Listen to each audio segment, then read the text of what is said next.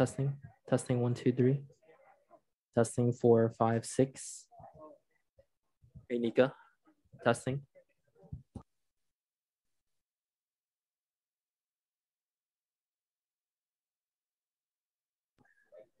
Testing one, two, three. Testing four, five, six.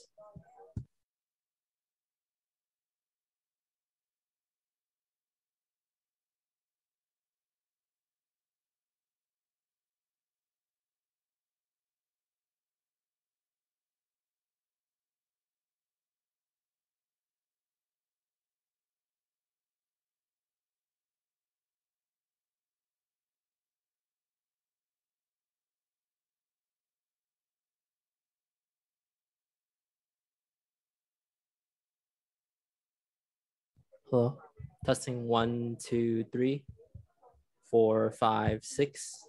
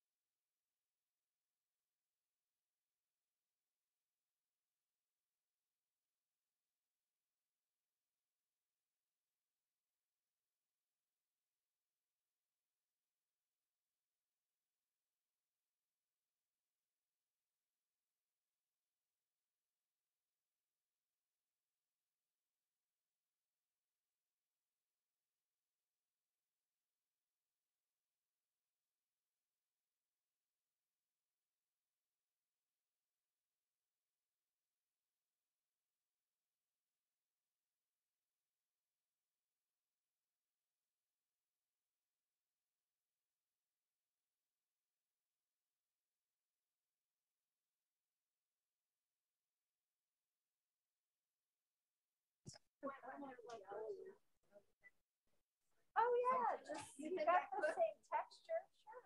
Where this is a little curvy. Yeah. You might, maybe. I gotta work on it.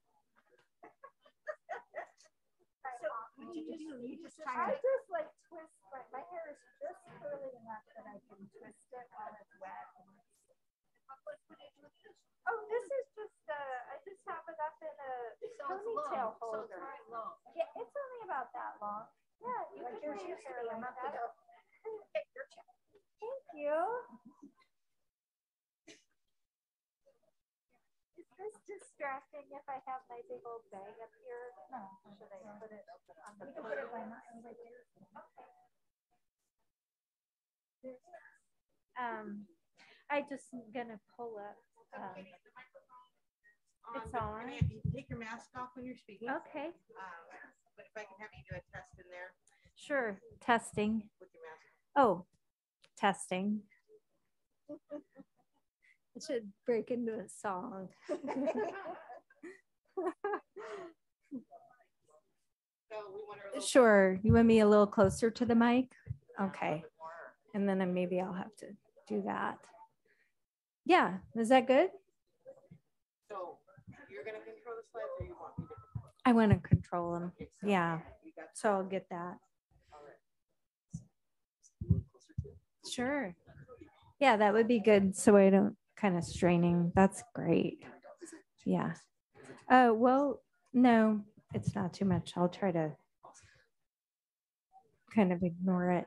And if you want to lower it a little bit, just take this. Okay, cool. Yeah, of course.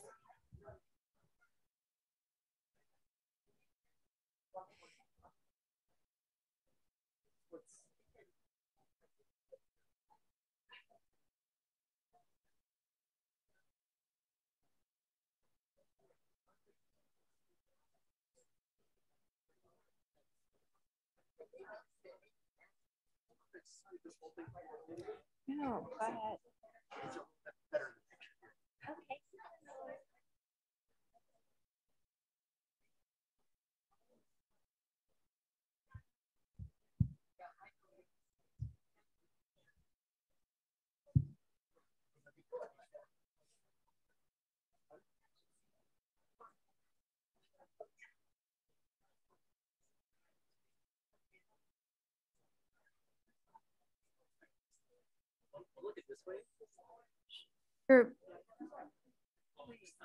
Oh, okay. I thought you were talking to me. I'm like, what?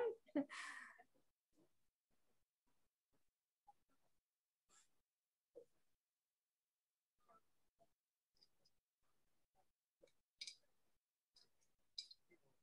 kind of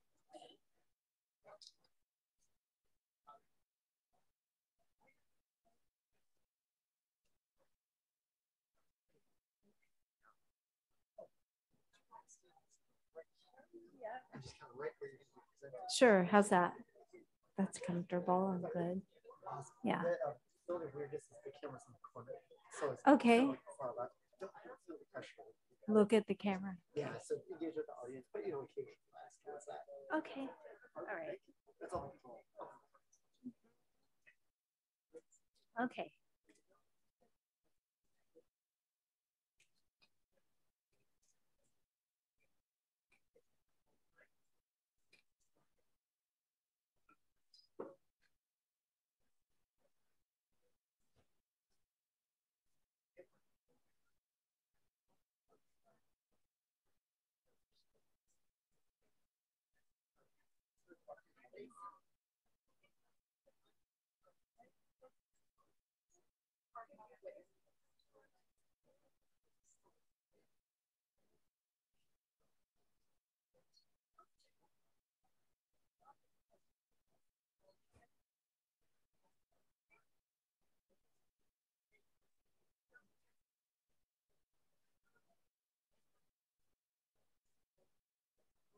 Hi.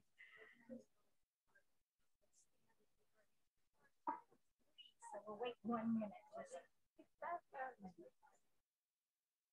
Vintage. Yeah. Oh, it's cool. It's in. Yeah. Oh, well. To do. We're all live. We're good to go. I'm just remember taking off your mask when we're talking. Okay.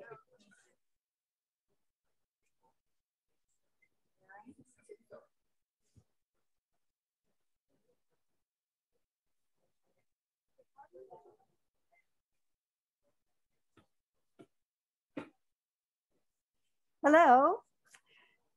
Welcome to our first welcome to our first gallery talk since COVID. Horizon House is fortunate to have Katy Stone uh, come and talk about her, her work. She is widely exhibited and including um, right here. That's so important, right? Um, she is represented by galleries in uh, New York, Oakland, and Denver. So um, we're lucky to have her. Oh, oh, and Seattle. What's your Seattle gallery? Jay Reinhardt. Jay Reinhardt. So I'm mostly familiar with Katy's wall installations, but she works in lots of different, a variety of materials and often in layers. So let's let her tell us about it. Thank you, Katie.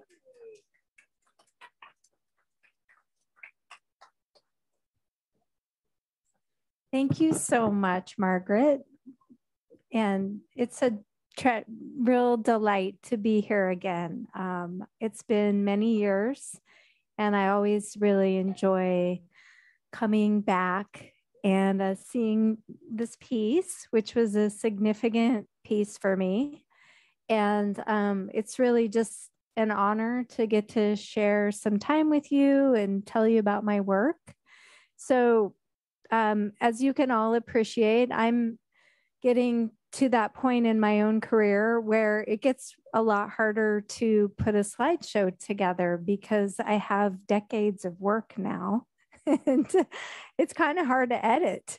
So um, I thought that hopefully I haven't put together too many images for you. And if I get going and I'm not all the way through. We might skip over some because it's always better to have more than not enough. That's kind of one of my uh, MOs, anyways. You'll see I like accumulation of lots of stuff. So, um, so yeah, I thought I would do kind of a, a chronological talk.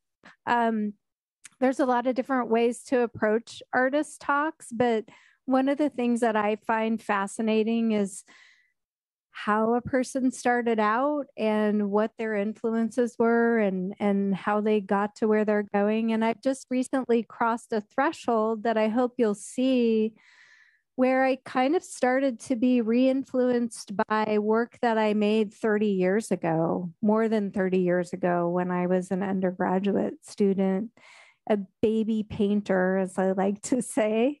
And um and so that's partly why I decided to do this talk in the format of a chronological talk. So, the image that you're looking at right now on the screen is the backyard of my childhood house. I grew up in Iowa, in the country, um, not on a farm, but in rural Iowa, and spent a lot of time outside um, not venturing very far from this backyard, but having a lot of deep adventures in the backyard. And as I came to realize over the years, being in nature and having a very specific feeling and experience of being surrounded by nature has been a really important part of my work. And so um, with that image as a really early influence, I'm going to share with you some of the artists that have been my influence because, you know, as artists, we're all just part of the stream of creative people and we're kind of all reinventing what has come before us. So, this is an image by Charles Burchfield. Did it advance? Let's see. Okay. This um, piece is uh, an homage to an American chestnut tree. And Charles Burchfield's work has been a really big influence on mine, growing so over the recent years because his work with um, place and nature and kind of like the hidden undercurrents of energy in nature and the spiritual connection to the landscape and the trees and plants and seasons is really manifest in his work. And I find his work incredibly um, interesting also in the way that he blends representation and abstraction. So the next image is Hokusai. And I sometimes joke maybe irreverently, but I think in a previous life, if there is such a thing, I was like a hermit painter in the Chinese or Japanese tradition because I find that there's a lot of influence of the aesthetic of um, art from Japan and China that comes forward and surfaces in my work in ways that I kind of find mysterious. Um, there's a way that these heroic um, waterfalls and the power of nature and its energy and essence is always communicated so elegantly through Japanese and, and Chinese art. And that has been a really big influence on me. The next image is um, by Odilon Redon, who's a French symbolist painter from the late 1800s. This this piece is called um, it's called Flower Clouds or Cloud Flowers. I put notes on my presentation and it doesn't, oh, it's called Flower Clouds. Here we go. I'm to the right slide now. I loved Redon's work from the beginning because of the way it made me feel. It's kind of mysterious and moody, uh, thoughtful, and kind of um, just had this tinge of things that felt very real and also kind of beyond the world that we're living in. And this image as well is called um, Eye Balloon. And I think it's very interesting and strange and feels very dreamlike. And it puts you in a, a state of curiosity and there's always a little bit of melancholy or longing or distance in Redon's work that I find very compelling. So these were early loves. And I should say that Ray Dawn is an outlier because um, his work is, has imagery in it, because I was actually always really attracted to abstraction. And this is a the painter Joan Mitchell, who is a 20th century master. She took the language of abstract expressionism and just exploded it with color and mark and like a celebration of um, she was really influenced by nature and landscape as well and this is a really gigantic series of um, four canvases I looked at her work all the time as a young baby painter when I was in my 20s. And um, it really just spoke to me. And this is part of a movement that was became to be known as the abstract sublime. And the abstract sublime took those um, ideas about romanticism and landscape and the American sublime that originated in the early 20th century the 1800s with the, the Hudson River School painters and painters like Albert Bierstadt, who painted the American West. And in the 20th century, artists started to channel that same sort of feeling, but with abstraction. So that was a really big influence on me, as well as um, this other type of, I would say that this isn't quite in the realm of traditional historical sublime painting, but I find it in that middle ground. It's sort of in between um, something that feels heroic and intimate. This is a painting by Gustav Klimt. And I love Klimt's landscapes. I first found them when I was 21 in a bookstore in a book in Chicago. And they just completely blew my mind. I love how mysterious this is. Um, if you look at the top, it's called the forest of firs. And there's these tiny little pokes of light that are peeking through. And there's a really just strong presence of, of spiritual feeling here and place and far awayness and something that feels very real and also feels completely born of the imagination. So these are things that are really compelling to me from artistic influences. And this is um, morphed into, when I got into graduate school, this other branch of what I would call another kind of the sublime. I skipped an image. This is the sublime of um, my childhood in the 1970s. and it's this whole other brand of sublime that it's kind of like color and texture and shag carpeting and all of that crazy stuff that is part of um, very much part of my middle class life.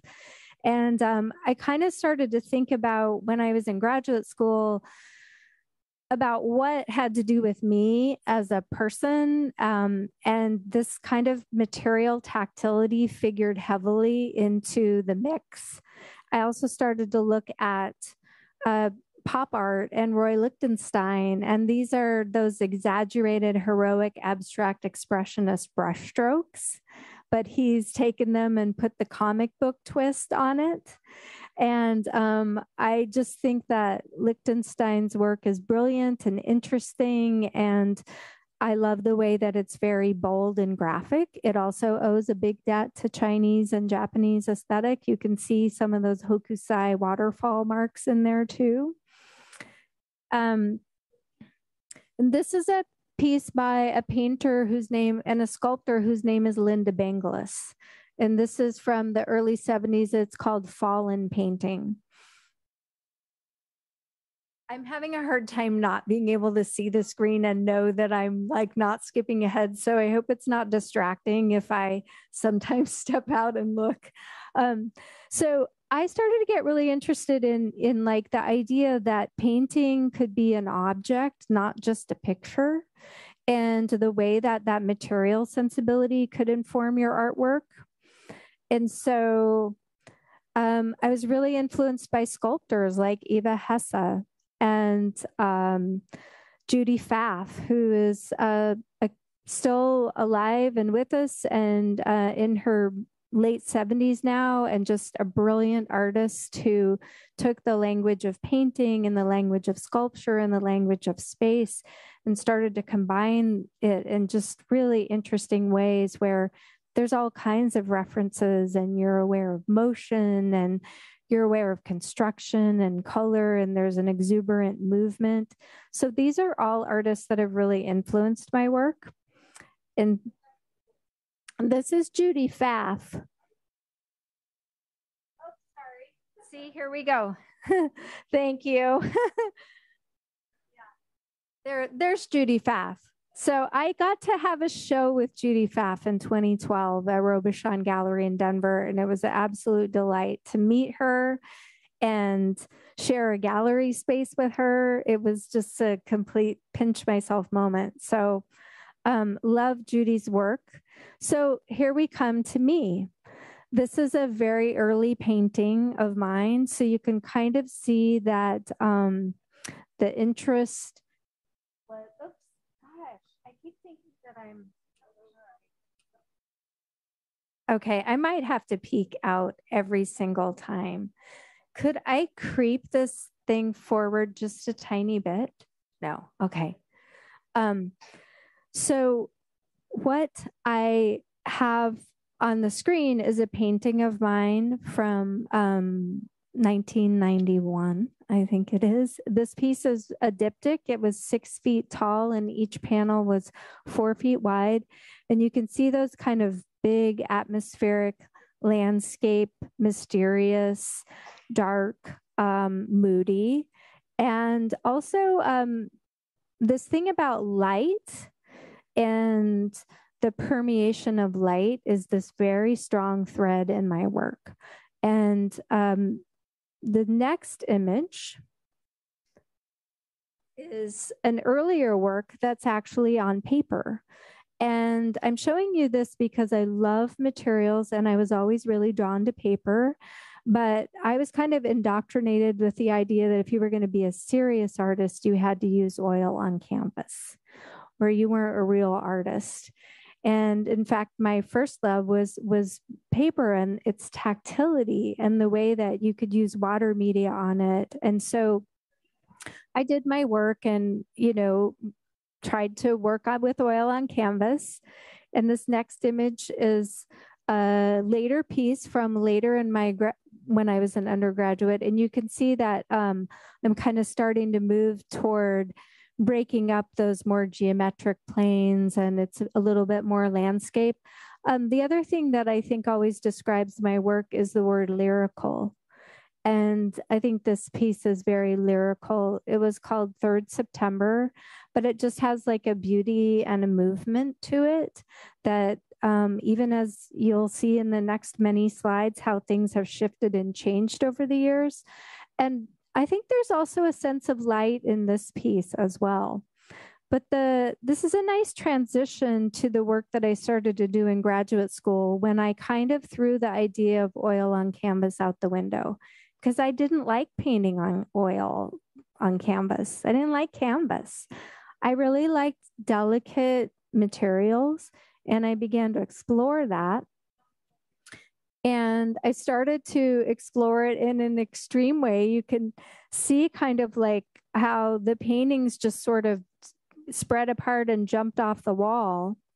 And um, this it, this image is actually out of order, so I'm going to move to the next slide.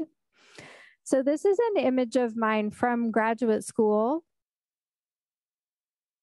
And uh, it was called Sound Running. And I was at the time doing all of these um, very initial painterly marks instead of collapsing onto one singular surface of a canvas. I was painting all of them on separate layers and then putting them together and really exploring the idea of um, transparency and translucency and that's really interesting to me um, to either have a transparent surface to work on or a translucent surface to work on.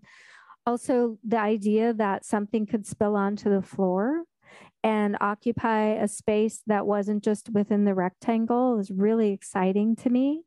And so my work really moved in that direction. So I'll pop back to the this the previous slide. This was postgraduate school, and I started to collect three dimensional material embodiments of the marks that I was making. And I wanted to point out the image that would be on on the the one with the yellow in it. That's the first time that I ever used this material that has become pivotal in my practice. It's a material called Duralar and it's transparent plastic material. I went to Boeing Surplus and bought a box of these overhead transparencies and started painting on them. And um, it changed everything. I was to, this next image shows you a little bit more expanded. Oops, did I go the wrong way? There we go. So this one is um, this is a, a few years postgraduate school. I got my MFA when I was only 24. it was so long. It was, you know, I was really young and I just wanted to go straight through art school. So this was a few years later, and I had continued this practice of drawing, but I was using all like tracing paper and layers. And so you can see that that idea about light it literally became embodied in the material. The material weighs nothing, it's weightless, it's transparent, and it permeates light in a different way than depicting the light might. Um, the thing about this piece that brings it into the realm that I want to talk about is the way that materials are so. E- Oops, should I keep talking? Okay, materials are so evocative.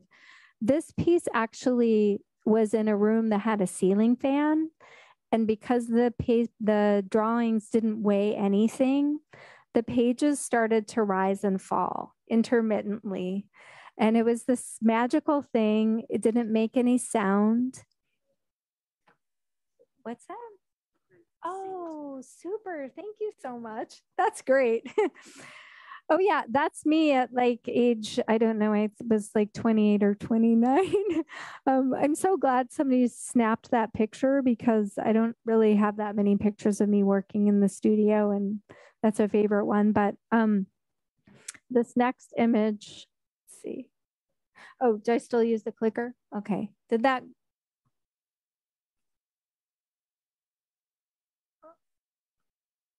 Nothing is advanced it's this isn't advancing. Oh, yep. Oh, great. We're golden now. Okay. So this was the pictures rising and falling. And I think the idea of movement, physical movement is really important in my work, but also just evoking motion. So I wanted to show you a little bit closer Duralar. Um, and what you can see in that last image is this way of process that I work, which is a stream of consciousness mark making and then putting things together. So this installation is several hundred tiny uh, collages that are all acrylic paint on clear mylar. So I figured out through many years how to work with the material. And um, here's some close ups of it. This was for a group show that was called Multi, and it was the idea of um, images evoking all different kinds of presences and associations. And I love that. That's why I love abstraction because it can take you different places. So here's a detail. And um, I painted all of these marks at separate times and then arranged them together to create this little form that kind of looks like a flower or a cloud or an insect or um, a landscape place. Um, these are all tiny, like the size of uh, specimens. And you'll see also in my other work, I like to put big things with small things. But also, I think my work is monumental in the sense that even when it's tiny, it evokes something very big. So both of these are watery and they reference um, waterfalls. They also reference processes in nature, something that's happening that might be mysterious or unknown, growth, unfolding. Um, I'm a big avid gardener and I just am fascinated by the way plants look at different stages. And so you'll see that. Uh, this piece is a little bit bigger. It's called Vincent's Moon. And um, this is probably about 12 inches tall and um, maybe seven or eight inches wide. And um, one of the things I figured out on the way along the way is that all of my work usually floats off the wall a little bit, much like the piece here sticks off sticks out of the wall. Um, that kind of way of working in space is really important. Um, this this is one of my drawings. This one actually isn't a sculptural piece that is pinned to the wall, but it's actually a collage drawing. But um, this one's called Water Wheel, and it's about 24 by 36. So this kind of brings um, the idea of accumulation is just part of my practice. So here's a little studio peek. And what I do is I generate lots and lots of marks. And these were specifically generated for a piece that I did at Facebook, but I love just painting mindlessly and repeating and then building it up and then doing something with it. And so, in some ways, it's like the parts start to become a raw material like paint, where I just start moving them around. Here's another nice studio shot where uh, you can see that I have drawings going all the time where there'll be collage drawings at different stages on the tables. And then, very back on the back wall, is um, a work that is in progress that is made of laser cut aluminum. And so, one of the breakthroughs I had with the piece that I made for you here is that when they approached me about doing the, the wind's reflection, the parameters were that they wanted something that would activate the stairwell, but it couldn't actually be attached to the ceiling. And of course, all of the Duralar that I work with is floppy. And so I was like, well, that's not going to work because it would have to attach to the ceiling and hang down. And I started to imagine what if one of my painted forms that was on a clear plastic material, if you just got rid of the plastic, you would have a cutout shape. And I realized that if I worked with metal, I would be able to realize my drawn or painted marks in a new way. And I could attach it to the wall and it could stick out in space because it's rigid. So, this piece behind you that lives here was a very significant piece in my artistic evolution and led to all kinds of bodies of work with, with laser cut metal. Um, here's another piece that was done a few years later it's called Candy Sky, and that's all aluminum. It's laser cut aluminum and painted with acrylic paint. Um, this one's from 2011. And um, I like that you can't really tell what the material is. And you can see um, as we go along that there's different degrees of abstraction. So this piece is probably the piece at Horizon House and this installation is probably the most pictorial that I've gotten with my work. And I kind of have this way that my work arcs back and forth between representation and abstraction. So, so this was done in uh, 2008, the year after I did the Horizon House piece at the um, Missoula Art Museum. And I lived in Montana for five years after graduate school. And so this was like um homage to all the seasons.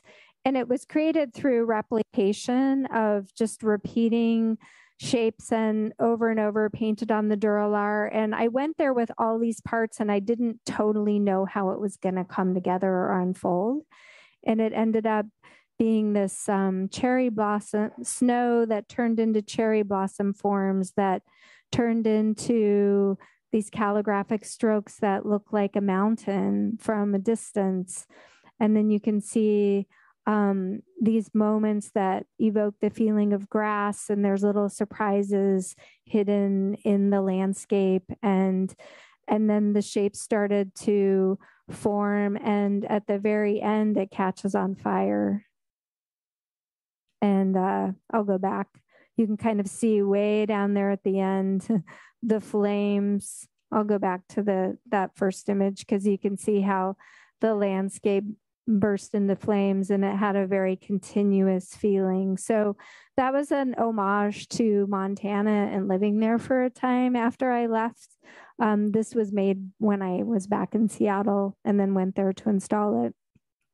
So this one's really pictorial and fun and playful and um, kind of grand. It also represents the idea of being in a piece that feels like a painting, but you're also kind of inside it, and um, or a sculpture that you're inside of that you can move around, that you can sort of use your own little viewfinder to isolate moments that are interesting.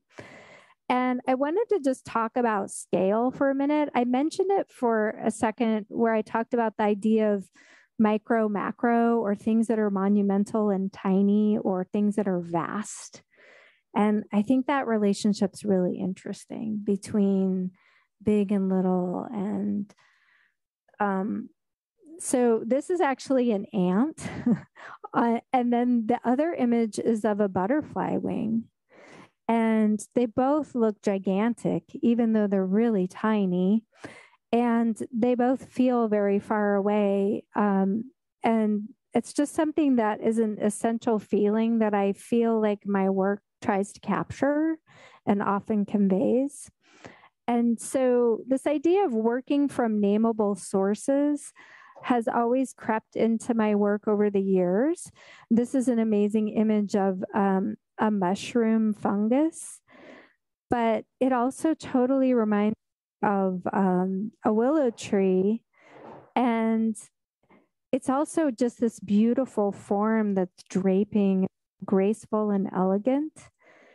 And um, this, I feel like that kind of presence that that living being has is something that my work shares.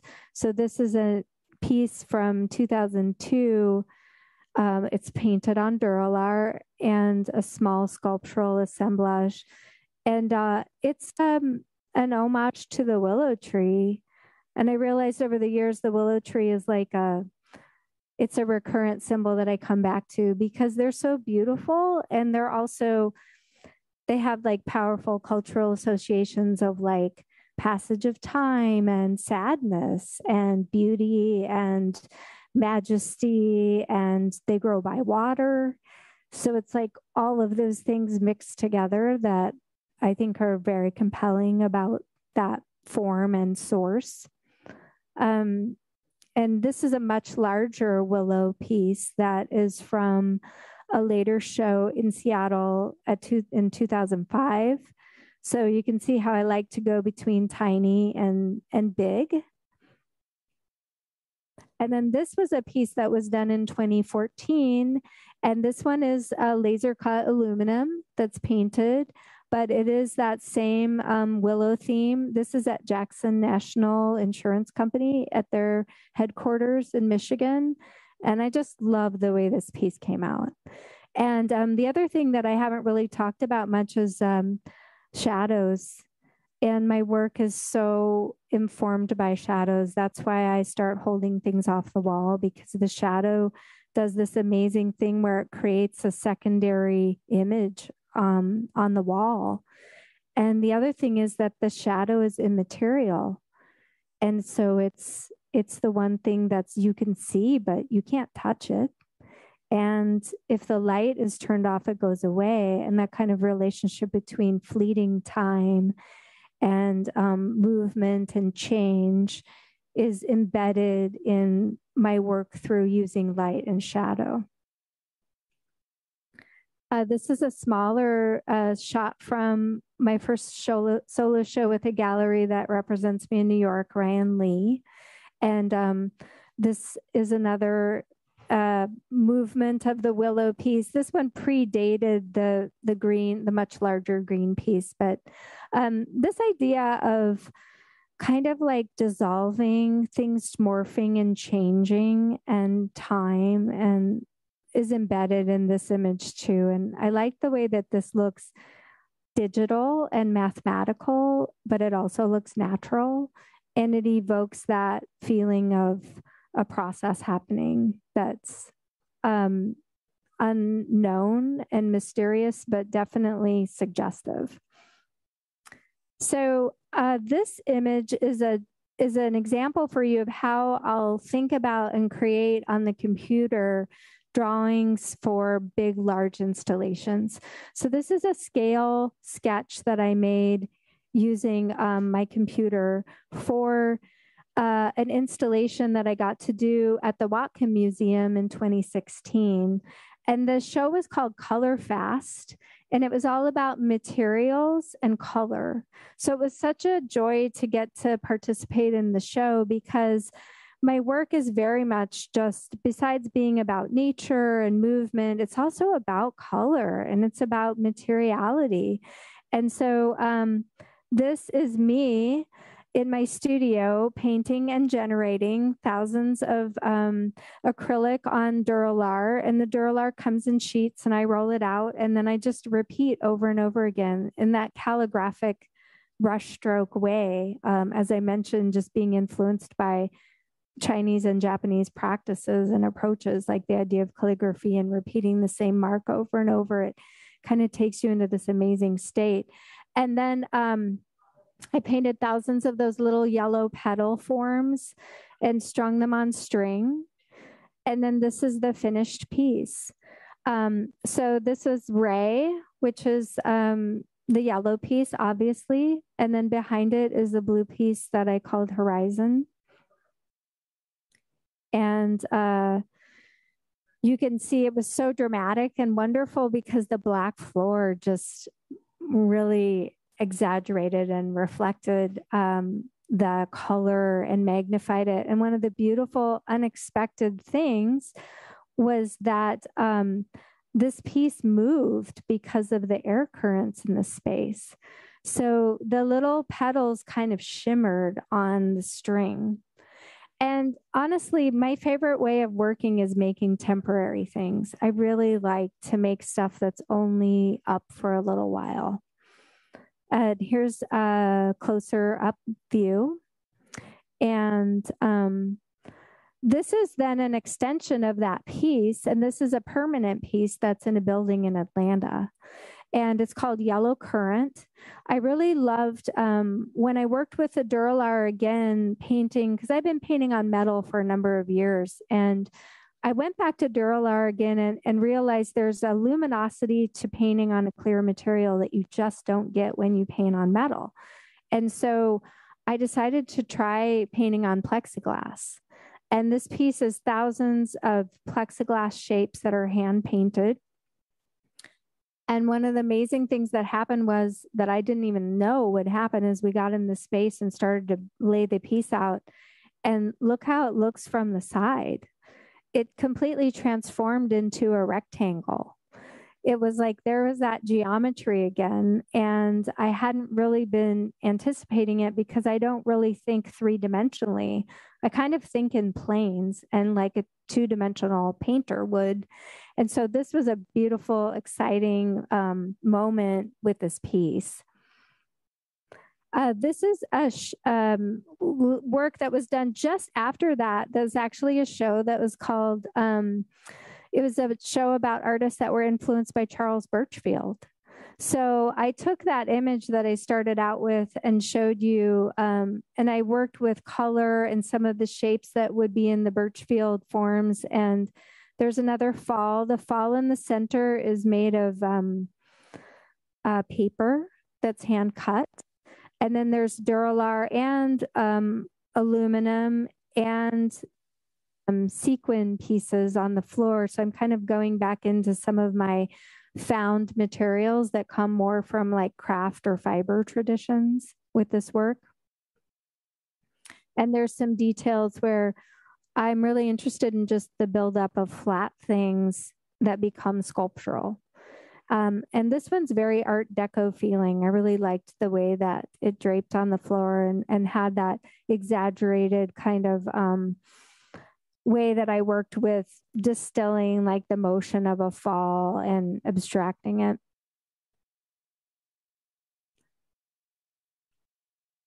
So now um, I'm coming up to an image that shows you this tra- this trajectory or step or process that I'm finding myself going back to abstraction. So, this piece was a direct response to the ray that I made at the Whatcom Museum. But I just thought, I kind of want to pare it down. And I went to the craft store. I went to Joann Fabrics because that's one of my places I go for inspiration, is like just to look at materials. And I found this uh, fluorescent ribbon that was very thin, like an eighth of an inch wide and I just fell in love with the color. And then I thought, okay, what happens? I got to do a residency at this space in Georgetown called Oxbow, where for two months I just got to go and play. And instead of trying to make a big heroic piece, I just decided to give myself permission to mess around because I've been doing a lot of big commission work and site specific stuff that requires so much planning. And on the scale of the Jackson National piece, that was you know, hundreds of parts that all have to be numbered and really meticulous. And so this piece was just part of a larger experiment of me coming back to these gatherings of materials and playing with them and seeing what happened when light hit them. This was on March 21st, the sol- the vernal equinox, and there was this moment where the sun came into the space and it lined up right with the seam on the wall. And so the sun was hitting all those paillettes and shiny materials on the ground, and it was projecting the light and the reflection back up onto the wall, which was in shadow. And I was just back in love again with with my process and my materials and like this idea of abstraction and um, instead of using acrylic paint, I started to use spray paint right on the Duralar and I was going to cut them up. And then I just looked at this hot pink line and I was like, oh man, I love that. I love the way it felt.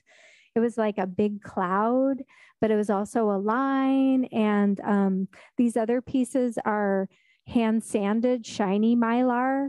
So that, or Duralar, which is that material I've been using for 20 plus years now. Um, and so this this installation was a huge uh, leap for me. And on the right, you can see this little um, sort of, it looks kind of like a fingerprint. Well, that's it. That's done with thousands of silver paillettes. And um, I had actually taken one of my drawings for another project and put it into a computer program that turned it into a pattern of dots. And uh, I saw it and I thought, gosh, this looks like my work, and yet it's totally new. And it has the same motion and organic suggestiveness, but it's mysterious, it's more abstract, and it's also kind of more suggestive. So, the funny thing is, the only way I could actually do this, this image had been sitting on my computer for like four years. Um, in 2018, when I was at Oxbow, the only way I could do it was because I knew it was only going to be there for two months. And somehow I was just like, okay, I'm going to just try this. So I got thousands of silver paillettes and pinned them all to the wall in that pattern. And it just, it's led to a whole new body of work, which you'll see a couple examples of later that are now being made for buildings. So this amazing experiment turned into something more. Another thing that really set me free recently was I did a residency at Bullseye Glass in Portland in 2019. And it brought me back to kind of this raw um, color, transparency, and um, less self conscious, less perfect uh, kind of work. And so these are glass experiments, these little drawings. And um, I just got back into like the idea of just making things a little bit faster and quicker. And that was on the heels of another opportunity I had in 2019. I was also invited to go to Kansas City Art Institute as an artist in residence and make a installation there. And I was there for three weeks. And so I started after Bullseye, I started making all of these spray paint on Duralar sheets. I just started cutting them up into little rectangles. And it led me to this whole new kind of expression, which the work on the right to me is like a willow tree, but it's just further abstracted and completely um, in a new place, but also my work again. The planes are two or three layers of uh, a spray painted uh, Duralar that are just cut out really quickly and then arranged on the wall. And um, this show also happened in uh, uh, several months after my dad died. And it got me thinking a lot about time. And um, he had this beautiful song that he shared with me that that was called Once Upon a Time by Jay McShann. Is I don't know if any of you are jazz lovers, but it's a beautiful song and there's a willow tree in it. And I started, you know, kind of building on those themes of passage of time. This is a nice shot of me up on the ladder. I spend a lot of time on the ladder with the hammer and um, pins. And these are some other uh, great shots.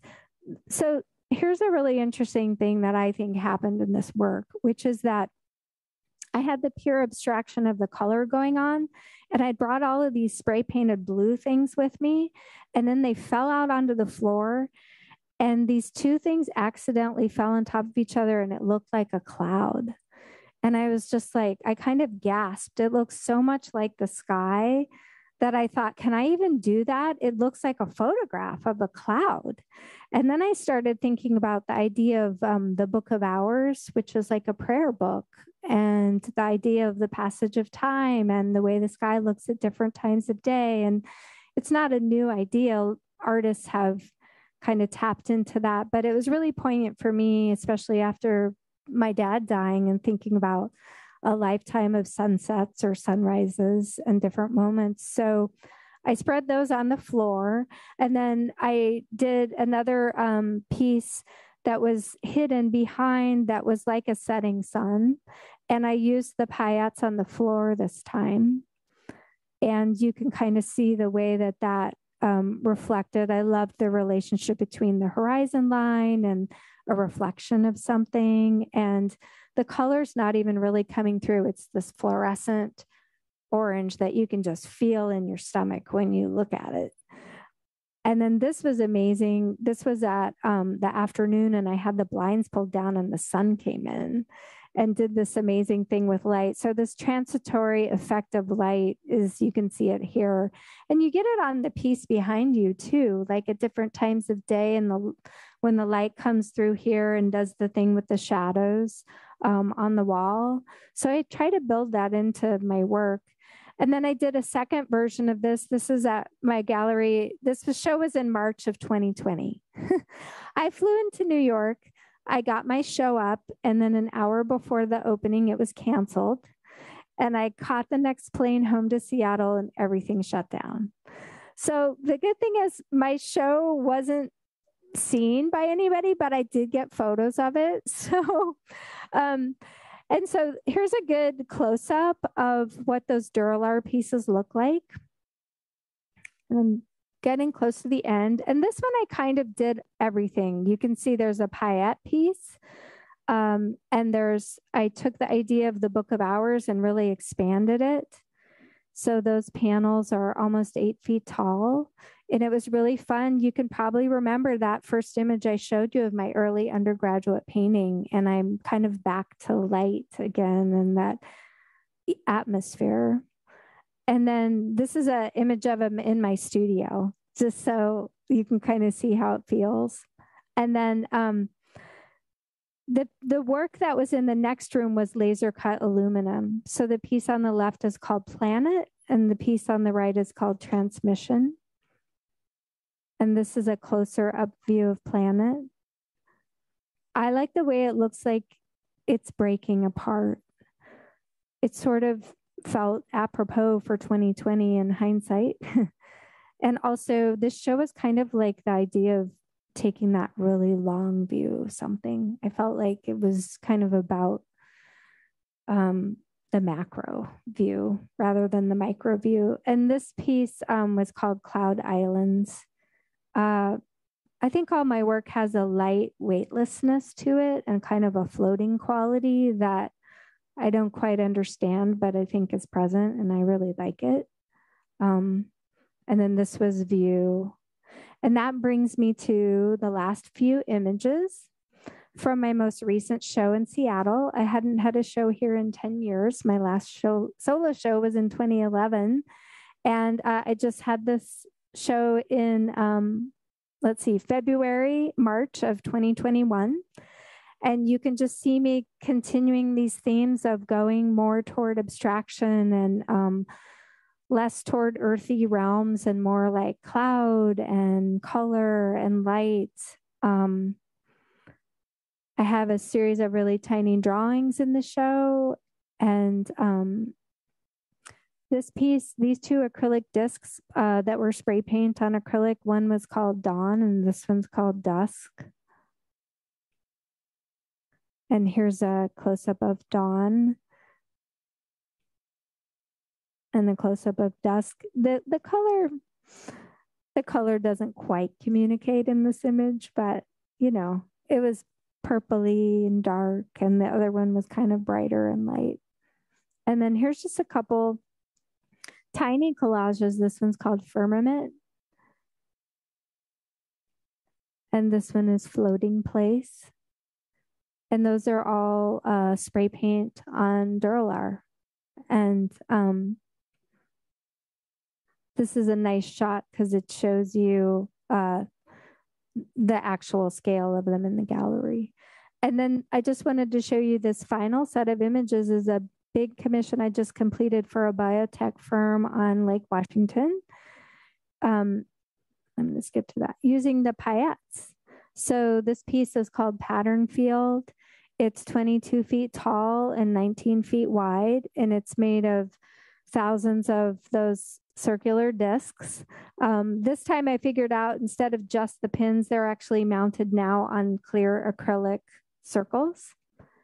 And um, this piece is so perfect for the biotech firm because it taps into just a literal embodiment of what they do. It's like the idea of a process the idea of something vast and unfolding that's self replicating, that is the meeting of nature and technology and um, kind of language. So, all of those are embodied in this piece. And um, as you walk in front of it, the paillettes kind of shine. Some of them are reflective and some of them aren't. And that's a nice detail shot of just standing on the floor looking up. So that's the last image.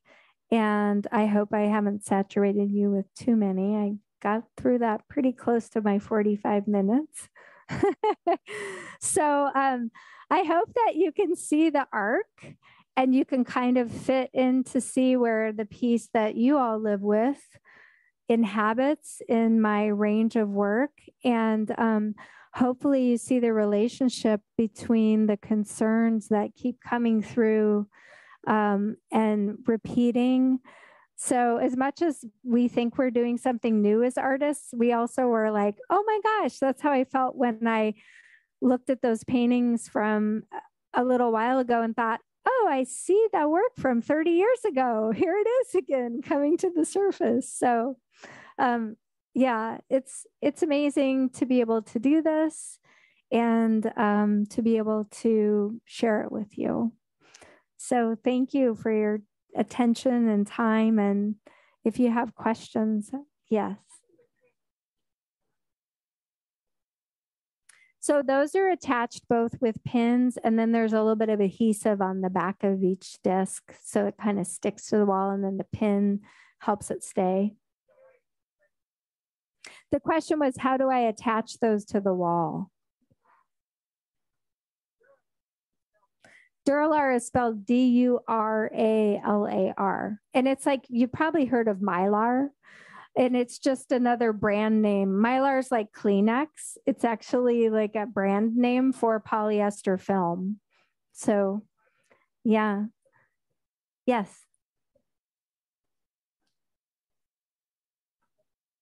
That was a delightful talk. Thank you so much. I remember seeing one of your works years and years ago that was in the crack of the gallery. Mm-hmm. You didn't talk about cracks. I didn't.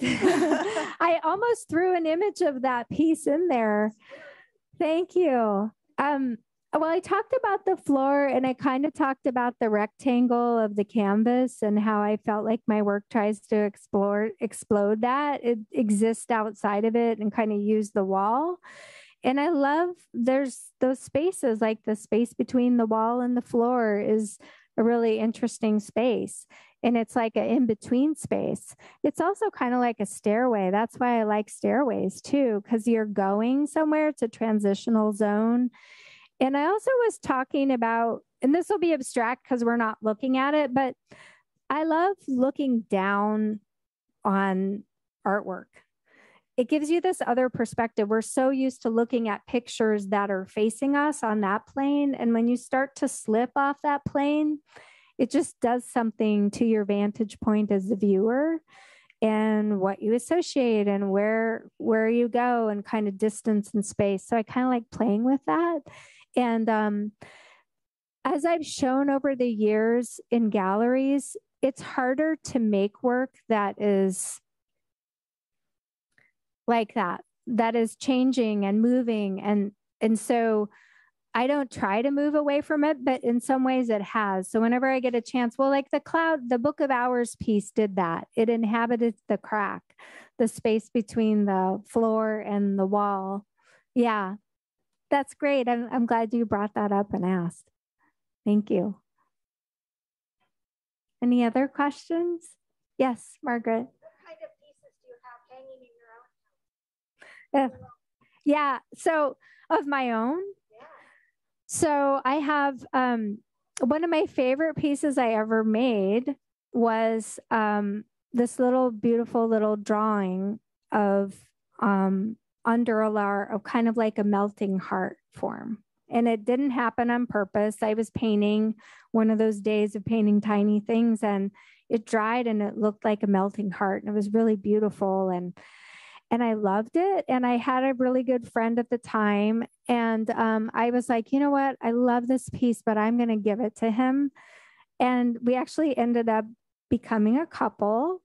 And now we're married, and I get to live with that piece that I gave away, which is really awesome.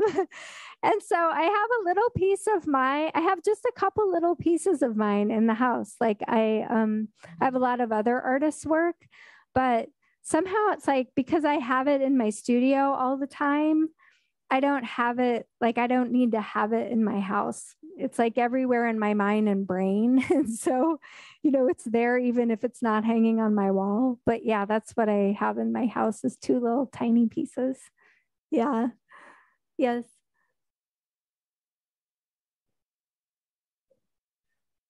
Uh, this has been really a treat. Thank you. And um, I'm, oh, I'm glad we still have this up here. How do you translate that uh, very geometric shape from your head to the wall? Yeah, I wish I had had had um, time to throw in a couple of progress uh, images, but my computer is so disorganized right now that I'm like, oh my gosh, where are those images from that shows the install? So what I do is all of the compositions using Payats are actually generated on my computer.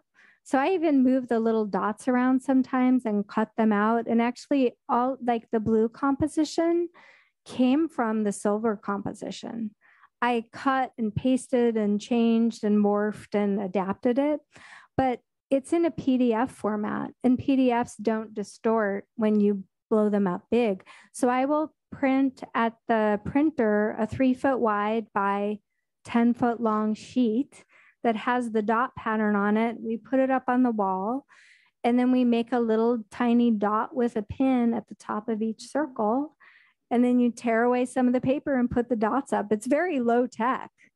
I was thinking, I think like Da Vinci or the Italian muralists would do it too. They would put up these big sheets of paper and put little dots on the wall that help you map out where you're going. So that's how it's done. Yeah. Thank you so much. You're I'm welcome. glad I asked. yeah.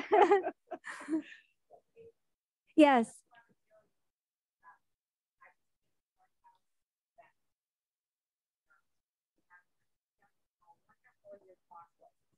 Very rare that we have an artist that tells us how they resolve one thing. So, solid really don't. That that was a Thank you. Thank you.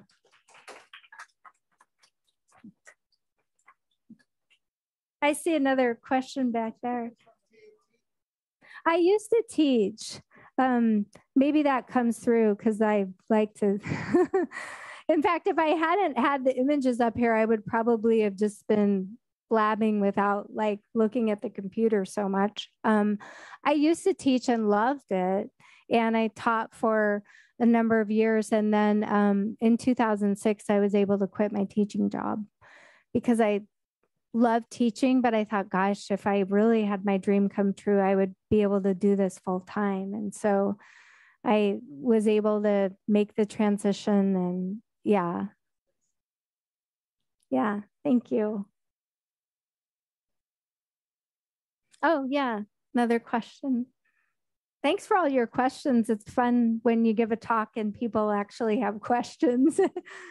Thank you. I don't know if a technician is here who could get rid of this screen, but I wondered if you would talk a little bit about your um, your ideas when you were building, designing, and then building that sculpture, yeah, and then also give us your thoughts about it now.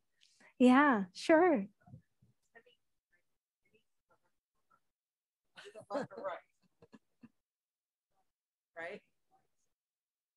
All right.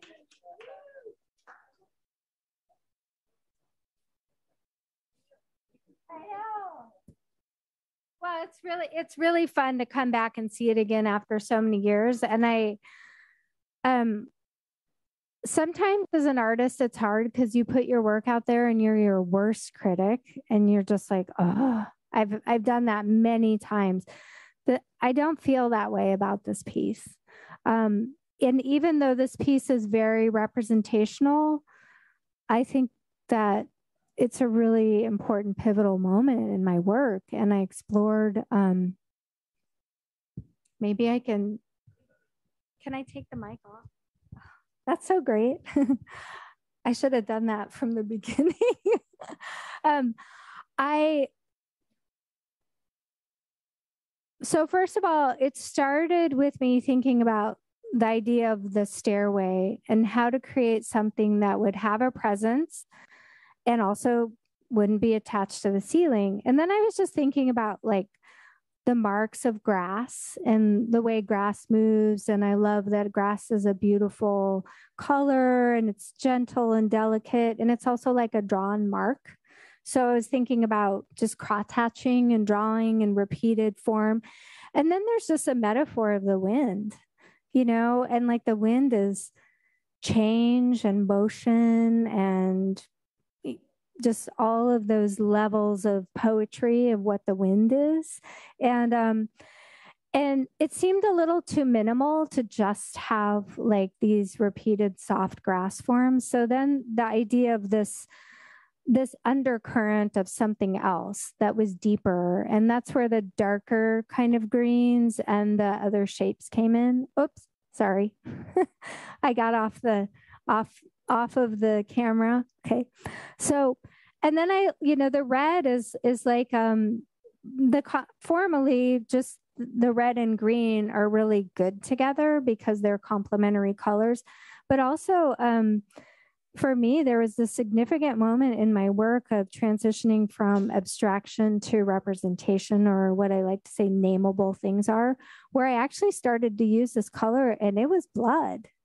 And I was like, blood, blood red. That's that's what that color is and i did some falls that were blood red that were 20 feet tall and you know and i i was thinking of red and then i was thinking of like the blood red and how it's a color we see in flowers, but it's also the color of like the pulse of our bodies, you know, and representations of a red that has that kind of tinge where it could signify like a fluid. And you might not have ever thought of blood when you were thinking of that, but it's kind of that red, you know. And then the great thing for me was trying to figure out what I could use um, instead of Duralar and i that's when i both i used metal and i'd never used glass before. And so this is actually um, you know i had only used glass this one time in a work.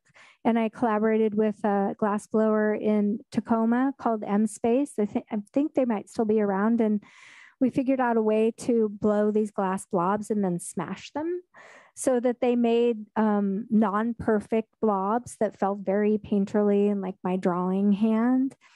And then, um, kind of just like the feel and the motion of it, I think it's very, it has this energy and current in it. And and then I called it wind's reflection because um, the grasses are upside down.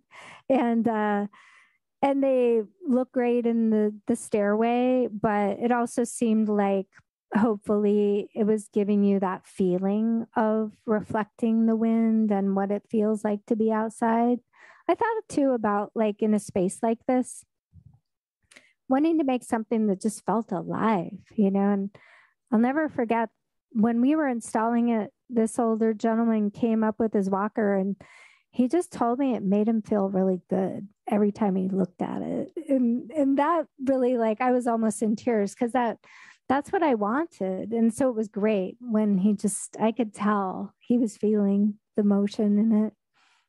So um yeah i continue to feel like that piece really holds up for me uh, as a work. And um i'm glad to see it here.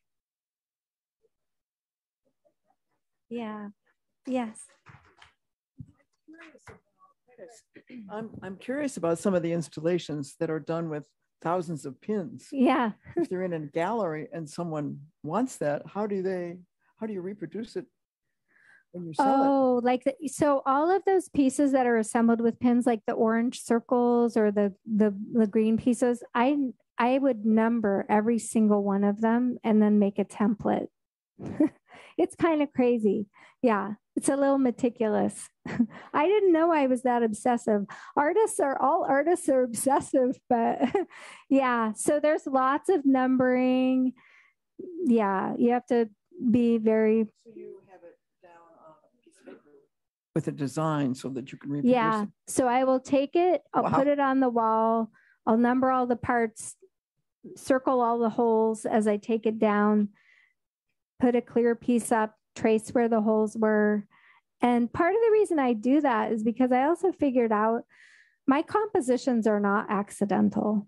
They're very, very meticulously like obsessed over. And so I used to think, oh, it wouldn't matter if it was put up a little different. It actually does.